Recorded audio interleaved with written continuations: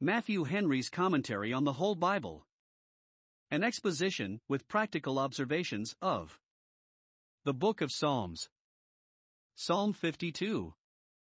David, no doubt, was in very great grief when he said to Abiathar, 1 Samuel 22 verse 22, I have occasioned the death of all the persons of thy father's house, who were put to death upon Doeg's malicious information, to give some vent to that grief, and to gain some relief to his mind under it, he penned this psalm, wherein, as a prophet, and therefore with as good an authority as if he had been now a prince upon the throne.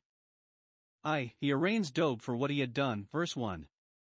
2. He accuses him, convicts him, and aggravates his crimes, verses 2 to 4. 3. He passes sentence upon him, verse 5. 4. He foretells the triumphs of the righteous in the execution of the sentence, verses 6 and 7. 5. He comforts himself in the mercy of God and the assurance he had that he should yet praise him. Verses 8 and 9. In singing this psalm, we should conceive a detestation of the sin of lying, foresee the ruin of those that persist in it, and please ourselves with the assurance of the preservation of God's church and people, in spite of all the malicious designs of the children of Satan, that father of lies. To the chief musician, Maskil. A psalm of David when Doeg the Edomite came and told Saul, and said unto him, David is come to the house of Ahimelech. Psalm 52 verses 1 to 5. The title is a brief account of the story which the psalm refers to. David now, at length, saw it necessary to quit the court, and shift for his own safety, for fear of Saul, who had once and again attempted to murder him. Being unprovided with harms and victuals, he, by a wile, got Ahimelech the priest to furnish him with both. Doeg an Edomite happened to be there, and he went and informed Saul against Ahimelech, representing him as confederate with a traitor, upon which accusation Saul grounded a very bloody warrant to kill all the priests, and Doeg, the prosecutor, was the executioner. 1 Samuel 22 verse 9, etc. In these verses, 1. David argues the case fairly with this proud and mighty man. Verse 1. Doeg, it is probably, was mighty in respect of bodily strength, but, if he was, he gained no reputation to it by his easy victory over the unarmed priests of the Lord. It is no honor for those that wear a sword to hector those that wear an ephod. However, he was, by his office, a mighty man, for he was set over the servants of Saul, chamberlain of the household. This was he that boasted himself, not only in the power he had to do mischief, but in the mischief he did. Note, it is bad to do ill, but it is worse to boast of it and glory in it when we have done, not only not to be ashamed of a wicked action, but to justify it, not only to justify it, but to magnify it and value ourselves upon it. Those that glory in their sin glory in their shame, and then it becomes yet more shameful. Might men are often mischievous men, and boast of their heart's desire. Psalm 10 verse 3. It is uncertain how the following words come in the goodness of God endures continually. Some make it the wicked man's answer to this question. The patience and forbearance of God, those great proofs of His goodness, are abused by sinners to the hardening of their hearts in their wicked ways, because sentence against their evil works is not executed speedily, nay, because God is continually doing them good, therefore they boast in mischief, as if their prosperity and their wickedness were an evidence that there is no harm in it. But it is rather to be taken as an argument against him to show 1. The sinfulness of his sin, God is continually doing good, and those that therein are like him have reason to glory in their being so, but thou art continually doing mischief, and therein art utterly unlike him, and contrary to him, and yet glorious in being so. 2. The folly of it, thou thinkest, with the mischief which thou boastest of, so artfully contrived and so successfully carried on, to run down and ruin the people of God, but thou wilt find thyself mistaken, the goodness of God endures continually for their preservation, and then they need not fear what man can do unto them. The enemies in vain boast in their mischief while we have God's mercy to boast in. 2. He draws up a high charge against him in the court of heaven, as he had drawn up a high charge against Ahimelech in Saul's court, verses 2 to 4. He accuses him of the wickedness of his tongue, that unruly evil, full of deadly poison, and the, wick- the wickedness of his heart, which that was an evidence of. Four things he charges him with 1. Malice. His tongue does mischief, not only pricking like a needle, but cutting like a sharp razor. Scornful bantering words would not content him, He loved devouring words, words that would ruin the priests of the Lord, whom he hated. 2. Falsehood. It was a deceitful tongue that he did this mischief with. Verse 4. He loved lying. Verse 3. And this sharp razor did work deceitfully. Verse 2. That is, before he had this occasion given him to discover his malice against the priests, he had acted very plausibly towards them, though he was an Edomite, he attended the altars, and brought his offerings, and paid his respects to the priests, as decently as any Israelite. Therein he put a force upon himself, for he was detained before the Lord. But thus he gained an opportunity of doing them so much the greater mischief. Or it may refer to the information itself which he gave and against Ahimelech, for the matter of fact was, in substance, true, yet it was misrepresented, and false colors were put upon it, and therefore he might well be said to love lying, and to have a deceitful tongue. He told the truth, but not all the truth, as a witness ought to do. Had he told that David made Ahimelech believe he was then going upon Saul's errand, the kindness he showed him would have appeared to be not only not traitorous against Saul, but respectful to him. It will not, not save us from the guilt of lying to be able to say, there was some truth in what we said, if we pervert it, and make it to appear otherwise than it was. 3. Subtlety in sin, thy tongue devises mischiefs, that is, it speaks the mischief which thy heart devises. The more there is of craft and contrivance in any wickedness, the more there is of the devil in it. For, affection to sin, thou lovest evil more than good, that is, thou lovest evil, and hast no love at all to that which is good, thou takest delight in lying, and makest no conscience of doing right. Thou wouldst rather please Saul by telling a lie than please God by speaking truth.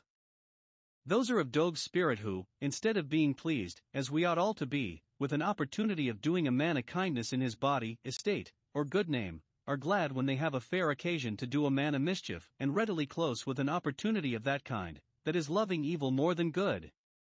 It is bad to speak devouring words, but it is worse to love them either in others or in ourse- ourselves. 3. He reads his doom and denounces the judgments of God against him for his wickedness. Verse 5 Thou hast destroyed the priests of the Lord and cut them off, and therefore God shall likewise destroy thee forever. Sons of perdition actively shall be sons of perdition passively, as Judas and the man of sin.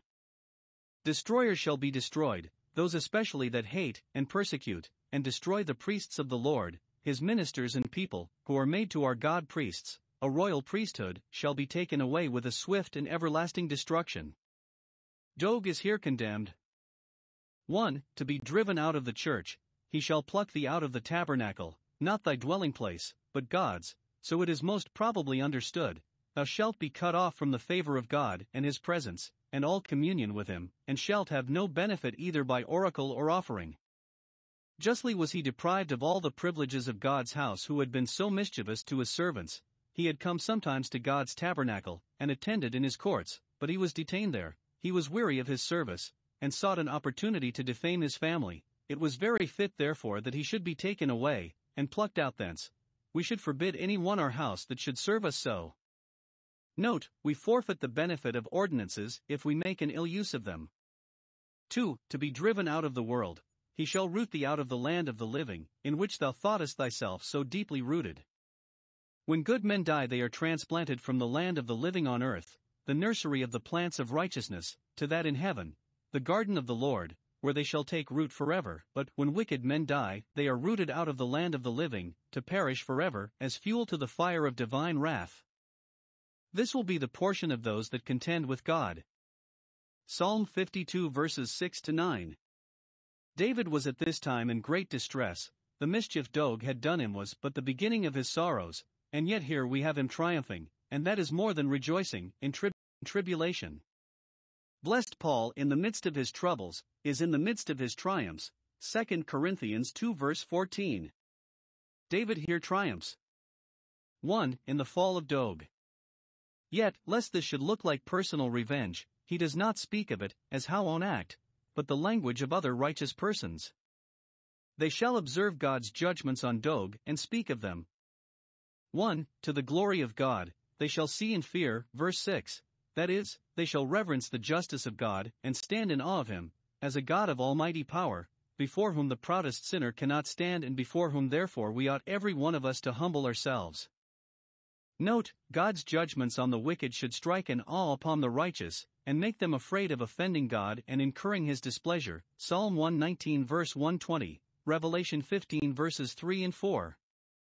2. To the shame of Doeg. They shall laugh at him, not with a ludicrous, but a rational serious laughter, as he that sits in heaven shall laugh at him. Psalm 2 verse 4. He shall appear ridiculous and worthy to be laughed at. We are told how they shall triumph in God's just judgments on him. Verse 7 Lo, this is the man that made not God his strength. The fall and ruin of a wealthy mighty man cannot, but be generally taken notice of, and every one is apt to make his remarks upon it. Now, this is the remark which the righteous should make upon Doeg's fall, that no better could come of it, since he took the wrong method of establishing himself in his wealth and power. If a newly erected fabric tumbles down, every one immediately inquires where was the fault in the building of it. Now that which ruined Doeg's prosperity was 1. That he did not build it upon a rock, he made not God his strength, that is, he did not think that the continuance of his pros- prosperity depended upon the favor of God, and therefore took no care to make sure that favor nor to keep himself in God's love, made no conscience of his duty to him nor sought him in the least. Those wretchedly deceive themselves that think to support themselves in their power and wealth without God and religion. 2. That he did build it upon the sand. He thought his wealth would support itself, he trusted in the abundance of his riches, which, he imagined, were laid up for many years, nay, he thought his wickedness would help to support it. He was resolved to stick at nothing for the securing and advancing of his honor and power. Right or wrong, he would get what he could and keep what he had, and be the ruin of any one that stood in his way, and this, he thought, would strengthen him. Those may have anything that will make conscience of nothing. But now see what it comes to, see what untempered mortar he built his house with, now that it has fallen, and he is himself buried in the ruins of it. 2. In his own stability, verses 8 and 9. This mighty man is plucked up by the roots, but I am like a green olive tree, planted and rooted, fixed and flourishing, he is turned out of God's dwelling place, but I am established in it, not detained, as Doeg, by anything but the abundant satisfaction I meet with there. Note, those that by faith and love dwell in the house of God shall be like green olive trees there. The wicked are said to flourish, flourish like a green bay tree. Psalm 37 verse 35, which bears no useful fruit, though it has abundance of large leaves, but the righteous flourish like a green olive tree, which is fat as well as flourishing, Psalm 92 verse 14, and with its fatness honors God and man, Judges 9 verse 9, deriving its root in fatness from the good olive, Romans 11 verse 17. Now what must we do that we may be as green olive trees? 1. We must live a life of faith and holy confidence in God and His grace. I see what comes of men's trusting in the abundance of their riches, and therefore I trust in the mercy of God forever and ever, not in the world, but in God, not in my own merit, but in God's mercy, which dispenses its gifts freely, even to the unworthy, and has in it an all sufficiency to be our portion and happiness. This mercy is forever, it is constant and unchangeable, and its gifts will continue to all eternity. We must therefore forever trust in it, and never come off from that foundation. 2. We must live a life of thankfulness and holy joy in God. Verse 9 I will praise thee forever, because thou hast done it, has avenged the blood of thy priests upon their bloody enemy, and given him blood to drink, and hast performed thy promise to me, which he was as sure would be done in due time as if it were done already. It contributes very much to the beauty of our profession, and to our fruitfulness in every grace, to be much in praising God, and it is certain that we never want matter for praise. 3. We must live a life of expectation and humble dependence upon God. I will wait on thy name. I will attend upon thee in all those ways wherein thou hast made thyself known, hoping for the discoveries of thy favor to me and willing to tarry till the time appointed for them, for it is good before thy saints, or in the opinion and judgment of thy saints, with whom David heartily concurs. Communis sensus fidelium all the saints are of this mind. 1. That God's name is good in itself, that God's manifestations of himself to his people are gracious and very kind, there is no other name given than his that can be our refuge and strong tower. 2. That it is very good for us to wait on that name, that there is nothing better to calm and quiet our spirits when they are ruffled and disturbed, and to keep us in the way of duty when we are tempted to use any indirect courses for our own relief. than to hope and quietly wait for the salvation of the Lord. Lamentations 3 verse 26. All the saints have experienced the benefit of it, who never attended him in vain, never followed his guidance, but it ended well, nor were ever made ashamed of their believing expectations from him. What is good before all the saints let us therefore abide and abound in, and in this particularly, turn thou to thy God, keep mercy and judgment, and wait on thy God continually. Hosea 12 6.